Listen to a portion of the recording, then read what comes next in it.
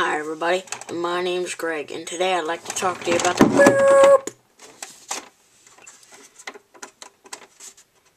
boop. Ooh, sorry. Uh, buddy, hey, okay? I didn't mean to kill you.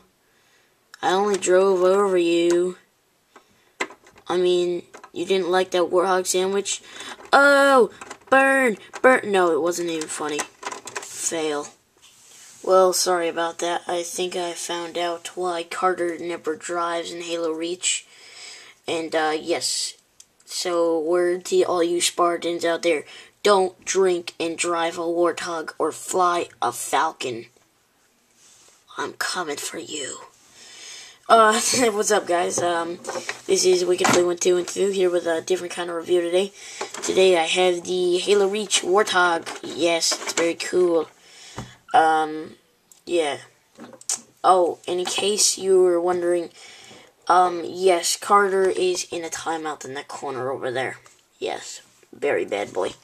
Um, no, in case you were wondering, uh, I've had this for a while, and, um, I can't describe how much I like it. Um, it's very cool. Uh, it's a great thing. Um, finally, they're making some kind of, uh, vehicles for Halo but I'll get into it now. Um, as you can see, wheels obviously both all move. This one moves.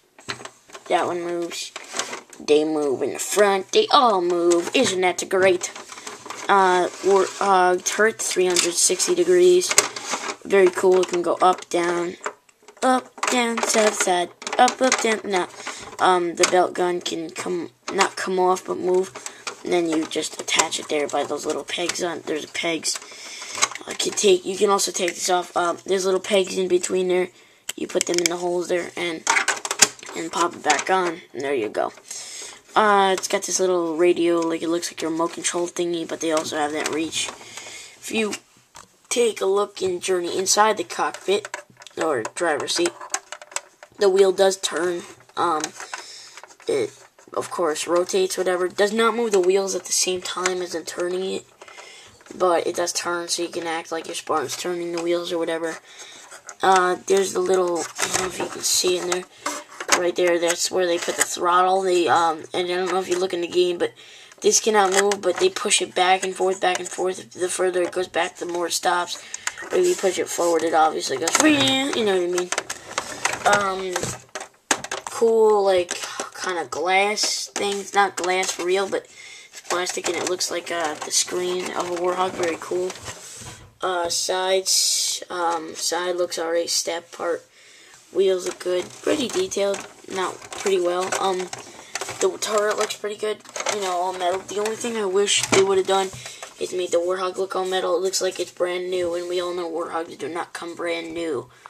Um, at least when Carter's driving them.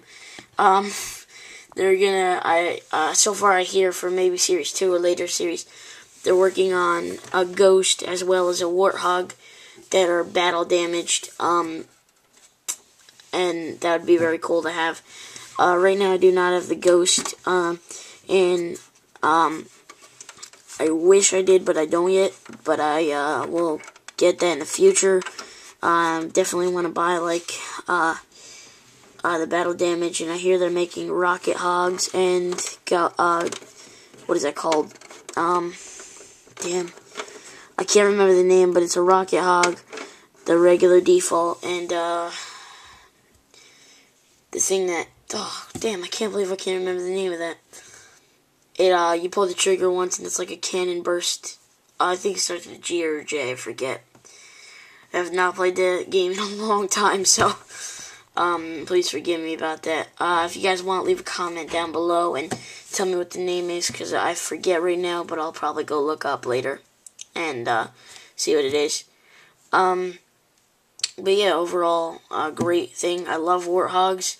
Uh, one thing I wish they would make next, um, after they're done with the whole warthogs and ghosts and all that stuff, I really want them to make a Falcon, like a big Falcon. Wouldn't that be cool? You could have a driver, have like the Noble team sitting in it. That'd be so cool.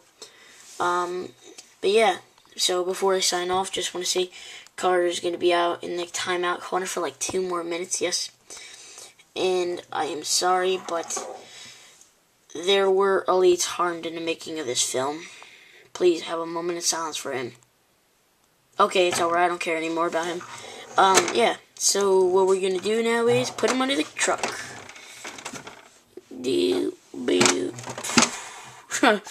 Alright, this has been a review from Wicked Flea 1212, and I hope you liked it.